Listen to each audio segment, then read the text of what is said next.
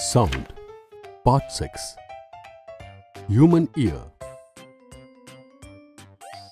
In the previous video, we learned about sonar and ultrasound. In this video, we will learn about the human ear. Earlier, we studied how sound is produced. Now, let us learn how we hear the sound. Humans hear sound with the help of an extremely sensitive device, the ear. The human ear allows us to convert pressure variations with audible frequencies to electrical signals. These signals travel to the brain through the auditory nerve. Now, let us learn about the auditory parts of the human ear and understand how it functions. Look at this picture of the human ear. As you can see in this picture, the human ear is mainly divided into three parts. The outer ear, the middle ear, and the inner ear.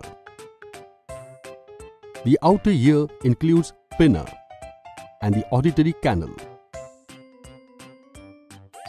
The middle ear mainly includes three bones, the hammer, the anvil and the stirrup,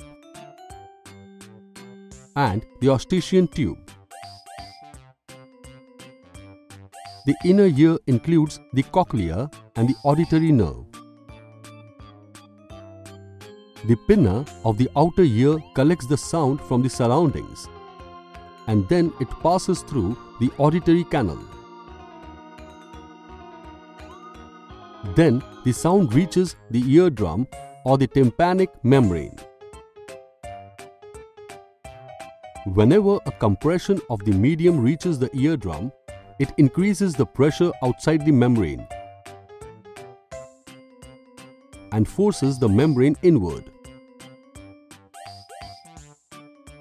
Similarly, when a rarefaction of the medium reaches the eardrum, it forces the eardrum outward.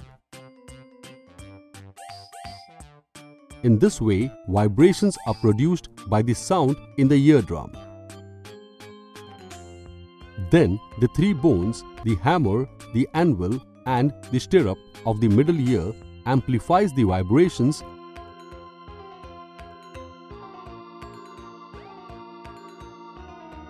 After that, the middle ear transmits the amplified pressure variations received from the sound wave to the inner ear.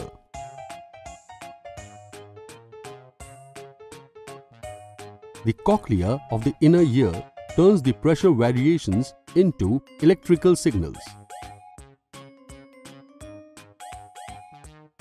These electrical signals are sent to the brain through the auditory nerve and the brain interprets them as sound.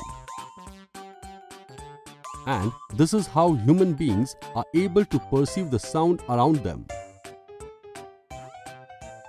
In this video, we learned about the human ear.